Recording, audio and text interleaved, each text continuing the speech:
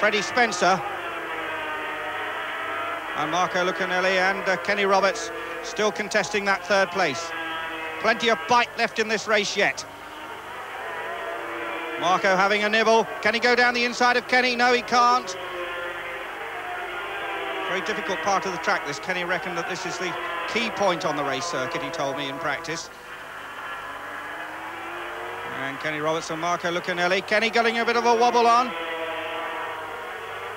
Past the pitch, still Kenny in third place, but Marco is turning up the wick of the Honda. And you have to be so careful on these 125 mile an hour motorcycles. Just a bit too much of the throttle hand and it'll spit you off and down the road and that's not a pleasant experience at all. Graeme Crosby still after that pair. Kenny, world champion for three years, but lost it last year to the man he's racing against. Still leading Franco Uncini. Franco, the former Harley-Davidson rider. Franco started racing in 1974. And as I said, in 1977 was the runner-up in the 250 World Championship. Now a fully fledged Suzuki rider.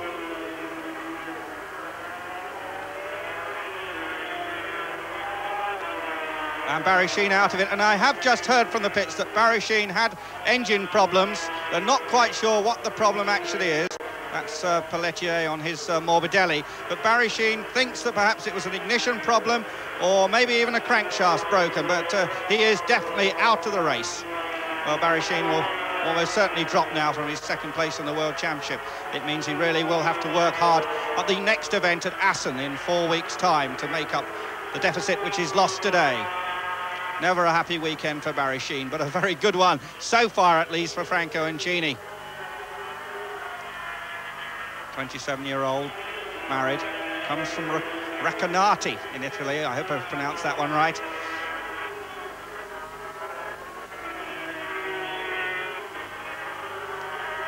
There you see the floodlights.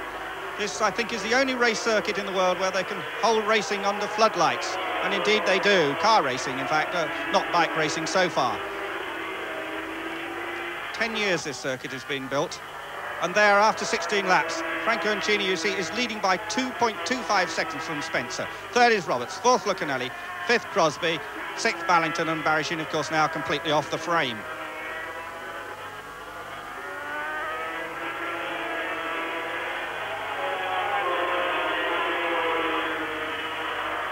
Fine mixture of curves here at the Misano track.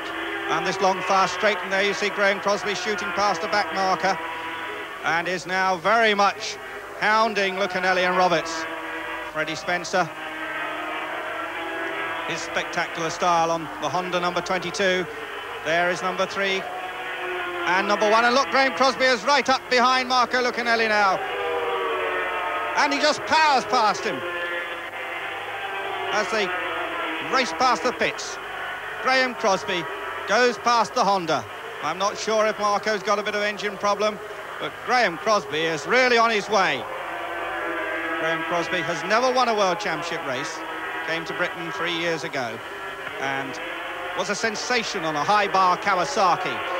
Did extremely well at the TT, has since been back to the TT and won there. Freddie Spencer has never been to the TT and he leads a group of back markers. They're starting to go through the field now, up to about 13th place, that group battling for 13th, 14th, 15th positions. And now Graeme Crosby on the tail of Kenny Roberts. Randy Mamola in the picture has been lapped. Randy Mamola having a very unhappy race. Oh yes, and Randy's in the pits. Randy has just pulled into the pits out of our picture, talking to manager Tim Doyle, it looks like, yes. Jim Doyle leaning over. Randy shakes his head. Well, what can the problem be? Only four points in the World Championship so far this year, and an absolutely dreadful season for Randy on his factory Suzuki. But this factory Suzuki is undoubtedly in the lead now, 10 seconds after 30 laps, three-quarter distance. Franco Uncini is leading from Spencer, Crosby, Roberts, Lucchinelli and Ballington. That order fairly well set, although Lucchinelli could move up and repass Kenny Roberts. There is Graeme Crosby. the Kiwi star, currently learning to fly, enjoys flying. Very erudite young man. Has had his arguments with Randy Mamola, was Randy's teammate last year and fell out with Randy in the biggest possible way. And in fact, Suzuki sacked Crosby at the end of the year.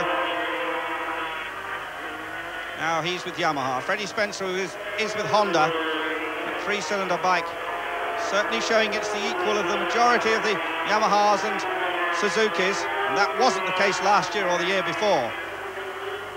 Great return to 500cc racing after a full start by Honda. And Freddie Spencer, a great find. 20 years old now, was a teenage sensation. Many bike fans will remember how he came to the transatlantic races. Oh, and a crash!